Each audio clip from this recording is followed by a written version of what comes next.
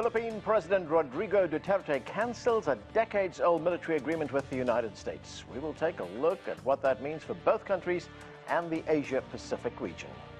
Hello, I'm Anand Naidoo, and this is The Heat.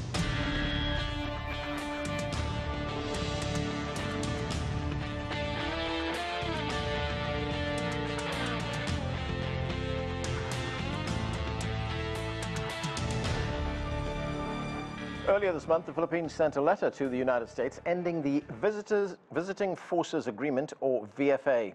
That security pact allowed the presence of U.S. troops in the country for joint exercises and training, as well as cooperation in counterterrorism. The decision by Filipino President Rodrigo Duterte was announced after the United States canceled a visa for one of his political allies. Asked if scrapping the VFA was a knee-jerk reaction, Duterte claimed the Philippines should not need help from other countries to survive. Trump and others are trying to save the visiting forces agreement. I said I didn't want to. The Americans are very rude.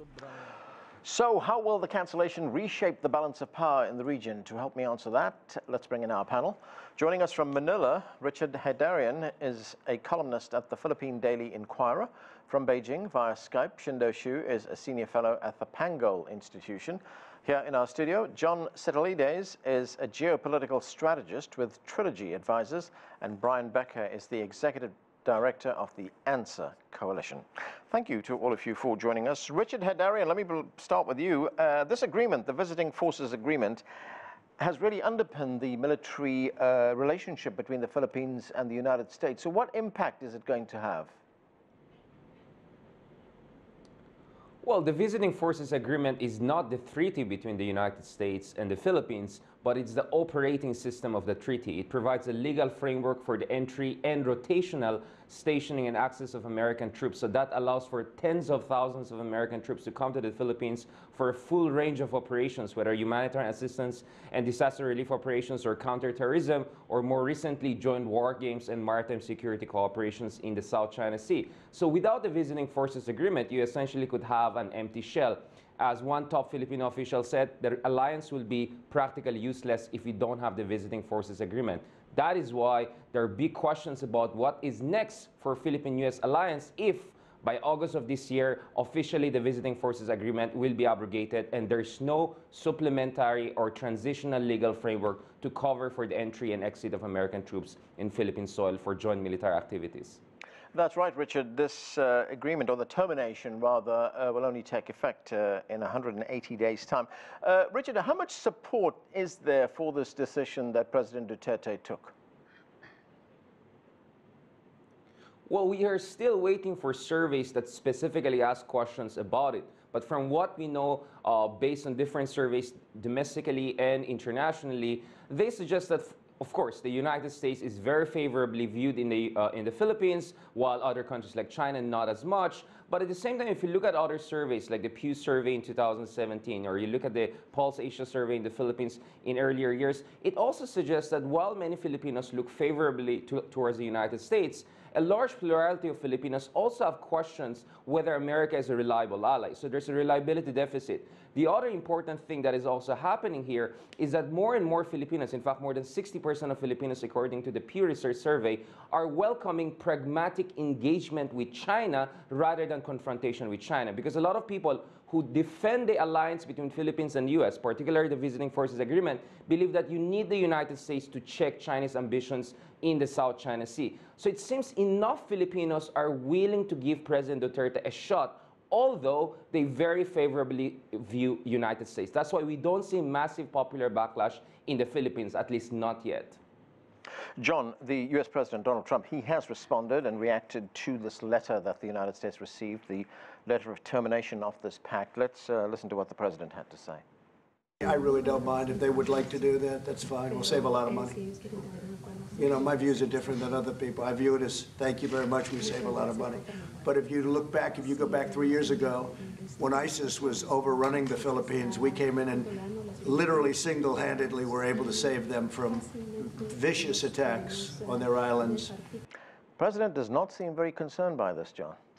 It's tough to tell what his long-term goals are here, Anand. Uh, to one extent, he did make a promise in 2016 to not only pull the U.S. out of what he called endless wars, but also to start to minimize the U.S. military footprint and look to see where there were significant savings from areas where he thought it wasn't absolutely necessary for the U.S. forces to be based, and to focus now on great power competition with China, with Russia, and the like. So this could be part of that strategy where if he feels that it's not essential that we maintain this agreement with the Philippines and we save 200 to 250 million dollars that are expended right now in the Philippines, that could be the goal. The other part of it is this could be Trumpian negotiations. There are six months or five and a half months to go, and he's expressing indifference. Duterte has expressed indifference, if not indignance, and maybe this is the beginning of the negotiations between uh, Washington and Manila. But it's also, John, a question of optics, isn't it, uh, to have that agreement in place?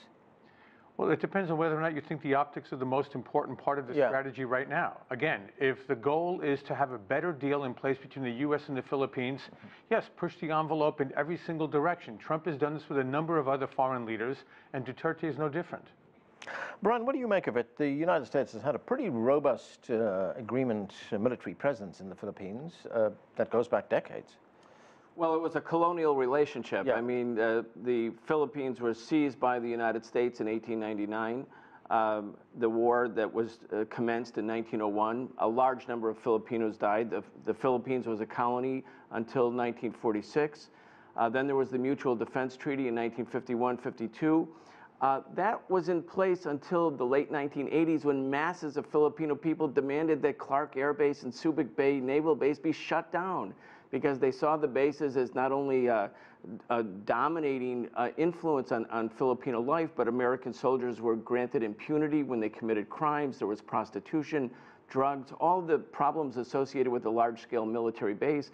And in 1992, the, the Philippine Senate demanded that the U.S. get out. So the Visiting Forces Agreement replaced the earlier Mutual Defense Treaty after a lapse of seven years. That allowed the, the, the American presence to come back into the Philippines while maintaining the fiction that it's not a permanent military base by having rotating troops. For this to end now, 21 or 22 years later, would be major. It would be, uh, you can't overstate the, the impact, in fact. And of course, the U.S. military and the Philippine military, I'm not talking about Duterte, mm-hmm. have this constant working together. They're basically embedded with each other. Yeah. And so I think the, the U.S. military will work with its allies within the Philippine military to try to undermine uh, Duterte's decision. John? I think it's a very important point about the military is looking to see how they get this back on track and look to see that the VFA is not completely abrogated come August. But you also have important political leaders. And to the earlier panelist point out of the Philippines, mm -hmm. uh, the Foreign Secretary, Mr. Teddy Locsin, is also very much concerned about President Duterte's decision. And whether it's in his social media feeds and his public statements in the Philippines, he's looking to see how this agreement can be fixed rather than abrogated. So you've got widespread concern around Duterte. Again, the next six months could be very uncertain in terms of how this ends. Right, let's go to Qinduo Xu in Beijing. Uh, Qinduo Xu, the United States Defense Secretary, Mark Esper, he was recently in the Philippines a few months ago. He says the termination of this agreement is a move in the wrong direction, and he described it, in his words, as a gift to China. How will Beijing be viewing this? Well, for Beijing, this is a domestic decision uh, by Manila. You know, uh, they would talk, uh, say this is about uh, uh, gaining back their independence and sovereignty. Uh, they are a sovereign country, so they want to make decisions for themselves about their future, about their defense. I think that's understandable. look at you know regional countries like Malaysia uh, like other regional countries, they don't have a defense agreement with the United States, and they, you know, uh, they are on their own. So that's they are perfectly fine. Uh, I understand, of course, you know, people would say this is, uh, you know, Philippine, United States, and China. Uh, this is triangle relationship, or rather, China, U.S. you know, the big power relationship here about Southeast Asia, etc.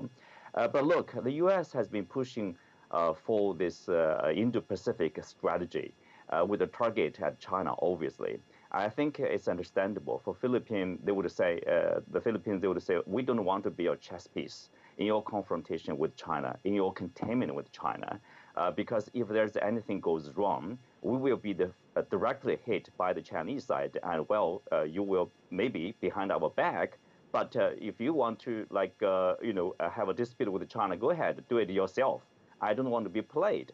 So that's our understanding. Probably there's a, such kind of consideration on the side of Manila. Richard, does the Philippines see it that way, that they're chess piece in this big power rivalry that we see in that part of the world, and they don't want to be in it, a part of that? Sorry, could you repeat the question? Uh, Sorry. Does the Philippines see it the way that uh, Qinduo Xu was just describing, that it's become a bit of a, a chess piece in big power rivalry in Southeast Asia, in that part of the world, and it doesn't want to be a chess piece? Well, as far as the Duterte administration is concerned, there's a deep worry about the U.S.-China rivalry in this part of the world going out of control. In fact, uh, the argument that we hear, including from the defense minister of the Philippines, uh, Delfin Lorenzana, who was a former uh, veterans attaché in Washington, D.C., is that we don't want to get involved in any kind of superpower rivalry, that our 30 alliance with the United States could actually be a liability for the Philippines. So actually, uh, in late 2018, he called already for the review of the alliance. So what we see with President Duterte going forward and threatening to effectively end the visiting forces agreement is a continuation of a long-running set of questioning by including members of the Philippine military and Philippine defense establishment who are supposed to be pro-American that this alliance could be more liability rather than benefit. Nonetheless, we still have until August. There could be again an 11th hour plot twist here, but the uh, and there are a number of things to look at. First of all, the Philippine Senate is questioning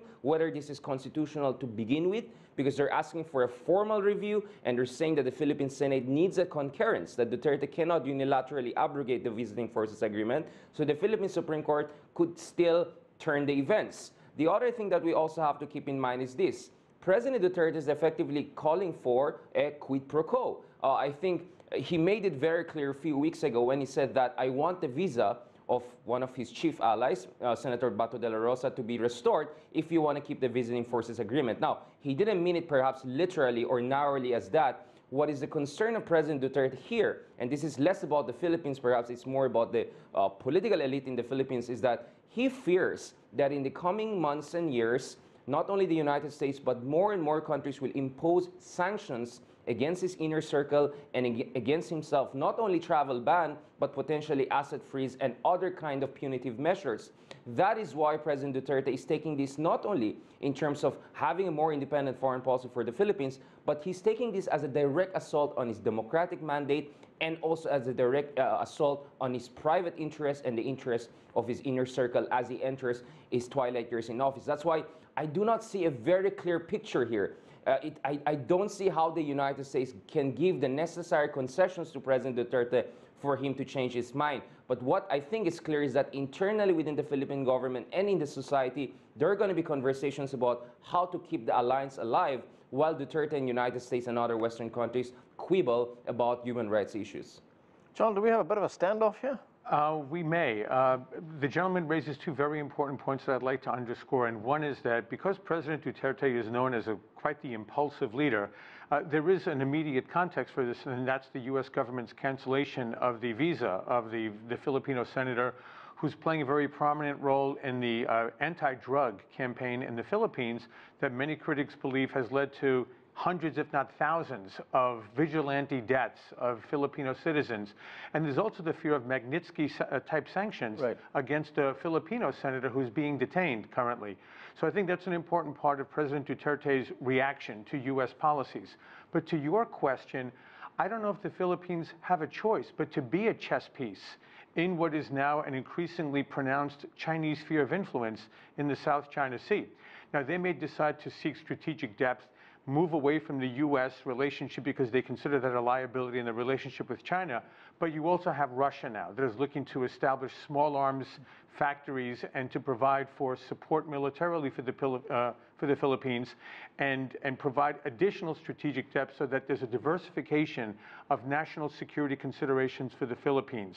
U.S., China, and Russia sort of a second level there. So uh, this is the way geopolitics is playing out now in a very different, more complex and dangerous global environment of the last five to seven years. Brian, I mean, how important uh, or how significant is it that President Duterte has decided to tear up this agreement? Because the United States continues to maintain a very big and strong presence in that part of the world. It's got uh, bases in South Korea, it's got a base in Guam, it's got a base in Japan. The Seventh Fleet is headquartered in Japan as well. Uh, still very, very important because the Philippines is a historic relationship. And, and it wouldn't simply be the United States being forced out of the visiting forces agreement with the Philippines. It's also about the orientation of the Philippines. Does it start to veer away from the United States, which is not really an ally so much as a dominating force? You may call it an alliance, but you know, one side has a great deal more power than the other side if the Philippines starts to move away, as Duterte, even though there may be impulsivity, Duterte has signaled this over and over again this desire to not be hitched to the United States and to be able to see uh, China as another equal player with the United States in that part of the world. Now, just remember in 2011 when President Obama announced from Australia the Asia pivot, uh, shortly thereafter, the then Philippine government went to The Hague and, and challenged uh, Chinese sovereignty over uh, islands in the South China Sea. Uh, soon, and The Hague ruled on behalf of the Philippines. And the United States and the Philippines were touting it. Duterte came in and said, uh, not really a big deal. We're not going to have The Hague settle uh, relations between the Philippines and China. That was clearly uh, an indicator that President Duterte was taking a different path. Yes, he has a sort of uneven record. There's a maverick quality about yeah. him. There's a contradictory element. But this is not one incident. This is a pattern uh, signaling that Duterte actually wants to reorganize the relationships between the United States and the Philippines, between the Philippines and China, and thus sort of exempt the country from being seen as just one country's pawn in the geostrategic chessboard. Right. Qinduo Xu, uh, how would you characterize the current relationship between the Philippines and China? Uh, China is the top trading partner. There's a lot of trade between these two countries. But beyond that, the strategic relationship, what does that look like? Uh, well, if you look at uh, the relationship between Beijing and Manila, uh, mostly it's about the trade relationship. Uh, I wouldn't call it like in the strategic sense. but look, before uh, Duterte became uh, took office in 2016, the Chinese investment in the Philippines is about like six, uh, six, uh, 60 million US uh, dollars. Uh, but over the past three to four years, you can see that has increased to 1 billion US dollars of Chinese investment in infrastructure projects. we know there's a program under President Duterte that is called you know, Build, Build, Build. Uh, so that received, uh, received a lot of, uh, I would say, investment from the Chinese side. And also, it's close, let's say. There are a lot of Chinese visitors, Chinese tourists to the Philippines. So that's another source of revenue. And remember, you know, we are neighbors, and we will be permanent uh, in that sense geographically. Uh, you know, ge uh, geographically, we will be permanent neighbors. And uh, yes, there's dispute between China and the Philippines, but the two countries are trying to solve their problem, or uh, one way or another, uh, through peaceful discussions. So there's no point of confrontation, uh, and I think. Uh, Manila side understand that uh, you know they don't want to say confront China because China is way more powerful. Let's say that's the reality, and also we know the U.S. presence in Manila is not about protecting the Philippines alone, say, or fighting the terrorists in the southern side of this country. Um, uh, look, uh, even without uh, ally, uh, other countries can, of course, live on themselves. So look at Vietnam, look at Indonesia, look at Malaysia. So who says a country in this region, they must need the protection of the United States? Protection against whom? Uh, you know, this uh, this agreement is back went back to, to uh, decades uh, back in 1998 or even before that mutual defense agreement. So this kind of agreement or treaty, uh, it's not only about the bilateral relationship, it's about targeting another country, that's China, for example. But for China, you know, it requires peace and stability to do business uh, is that's in the interest of the Chinese side, but also in the interest of ASEAN countries, uh, of which uh, Philippines is a is a member of uh, of the group. Uh, so uh, in that sense, of course, you know, but that's a sovereign decision for Philippines, you, you know, that's their consideration. What's the best for their interests? China respects, you know, whatever decision coming out of Manila. Richard Heydarian, it will be some time before this decision takes effect. Uh, but in that time, I mean, what kind of pushback uh, could you see from the Philippines military? You pointed out that the defense minister is not altogether happy with the president's decision, but what about the Philippines, uh, the top military commanders? Could there be pushback from them? Well, one thing that we have to keep in mind is that since President Duterte took office, one of the institutions in the country that he really launched a charm offensive towards was the military. Uh, in the first three months of his office, I think he visited like 45 different military bases across the country. He has doubled or tripled the benefits, the salaries of soldiers and officers. Uh, a lot of people who used to serve in Davao, uh, where of course President Duterte comes from, uh, became AFP chiefs of staff. So over the past three or four years, I think President Duterte, being uh, quite an experienced politician, he realized that he has to have the good graces of the military if ever he's going to shake up the Philippines alliance with the United States, which is exactly what's happening right now.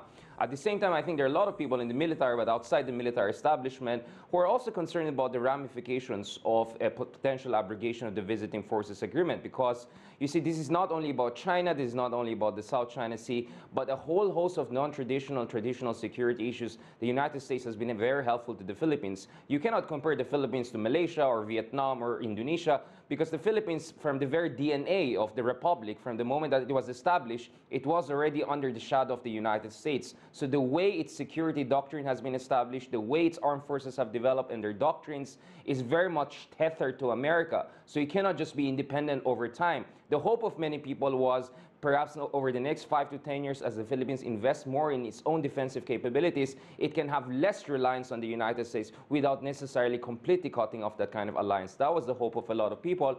So the argument against President Duterte is that this was perfunctory and this is premature. Now, to, again, to put things into context, the VFA was very important. For instance, it facilitated 13,000 American troops, 66 aircrafts, and an aircraft carrier to come to the Philippines and help tens of thousands of people who were desperately out of touch of Filipino troops and Filipino government during the Yolanda or Haiyan superstorm in 2013, during the Marawi crisis in 2017 when ISIS-affiliated elements took siege of the town for five months, the armed forces of the Philippines had very limited to non-existent experience of conducting urban warfare against 21st century terrorism. Yeah. America provided the special forces training, high-grade weaponries. So the military, even if they will be okay with engagement with China, they're going to worry about how are they going to deal with all sorts of problems which are non-traditional security. Right. The Philippines is very vulnerable to all of them. I think that's where President Duterte could be uh, significantly criticized. John? Uh, Qinduo raised earlier the uh, context of the ASEAN uh, multilateral agreements and institutions in Southeast Asia. Well, it's interesting that President Trump is going to be convening a gathering of the ASEAN countries here in the United States in March had extended the invitation to President Duterte. He turned down that invitation. So we'll see how uh, immediate negotiations possibly relaunch a, an opportunity for Duterte to rethink his rejection, come to the United States, and see whether or not there's a first discussion to be had directly with President Trump. And again, in the context of ASEAN, I think you may see, if this doesn't work out by August, there will be efforts by countries such as Indonesia, Vietnam, and maybe even Singapore to reach out to, to the United States and see if a similar type of agreement or even stronger ones than they currently enjoy with the United States for basing or for forward deployment of U.S. troops and the like in the South China Sea come into place to succeed what may be the abrogation finally of this U.S.-Philippine VFA. Brian, during the, uh, when President Obama was president, uh, he talked about the so-called pivot to Asia. We also talk, heard about uh, the rebalancing of U.S. military assets around the world, that more assets would be shifted to that part of the world. Would this uh, affect that in any way? Well, I think so. I mean, I think the United States is counting on the Philippines as an anchor. Uh, I mean, it, it, was driven out of the Philippines. Again, I want to just emphasize the Filipino people drove the U.S. military bases out such that the Senate had to vote in 1992 to close down Subic Bay and Clark Air Base. So the U.S. came back and it urgently wanted to come back with this fiction that it was no longer a permanent military presence, that it was just rotating. Mm -hmm. But it's critical to U.S. military operations in that part of the Pacific.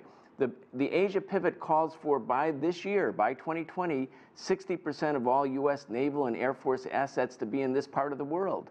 Uh, the Philippines has for a long time been considered to be an anchoring force for the American presence. I just want to say one more thing about the, uh, the, the agreement. It smacks of colonialism still. It still offers Americans, American troops immunity. It requires immunity and impunity. It has that extraterritoriality clause that if American soldiers rape or kill Filipinos, they're still under the jurisdiction of, of the American military an agreement like this, coming as it did after the Filipino people had wrote, risen up and said no to these big bases, it offends the sensibility of sovereignty. It offends the sensibility of sovereignty. And Duterte, by, by making this position, also makes it clear that he's representing Filipino aspirations to be a proud, dignified people and not to be under the thumb of a foreign dominating power. So, from a political point of view, I think it plays well for him, and it also resonates or must resonate with a significant part of the population. Richard, what do you make of those points that the United States can send its troops to the Philippines and they can pretty much do whatever they want to?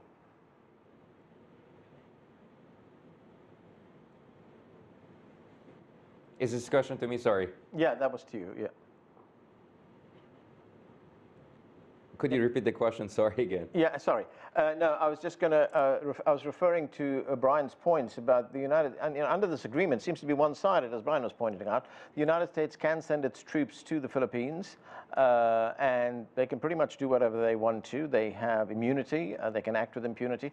Um, and the fact that mm. what President Duterte has done was basically it's a political act to re regain Philippine sovereignty. Well, let's be very clear. The Philippines' alliance with the United States is controversial, at least among a small plurality of Filipinos. And when you had incidents of American servicemen uh, visiting violence or in some cases murdering uh, Filipino uh, citizens, uh, and the visiting forces agreement essentially giving a cover to them by not allowing the Philippine judicial institutions to take care of the situation, right. you had a lot of controversy and a lot of backlash, right? So I think a lot of people are arguing that the visiting forces agreement is imperfect. It could be better negotiated, but first of all, it has to be properly reviewed. So the criticism against Duterte is that why did he jump right away to abrogating it without going okay. through a formal process of review? But then again, maybe behind the scenes, President Duterte wants to make a different kind of negotiation All right. and push for the changes in VFA. But All right. lastly, I'll, I'll, make this very clear. Very quick. There's very another quick. defense agreement, the Enhanced Defense Cooperation Agreement, yeah. which will allow the Americans supposedly to gain access to key bases close to the South China Sea. Okay. Now, that agreement cannot also be properly implemented if you don't have the VFA. All right. We're going to have to leave it there. Thanks to all of you for being with us. That's it for this edition of The Heat. Thanks for being with us. We launch our own podcast. You can listen to it through Apple Podcasts, Google Podcasts, Stitcher, and Spotify. We'll be covering stories from around the world similar to those you see on this program, but we'll get a bit more personal and candid with our guests and correspondents. So if you're on the go, whether on the train, driving to work, or just out for a run, give us a listen and make sure to subscribe. Search online for CGTN and the Heat podcast.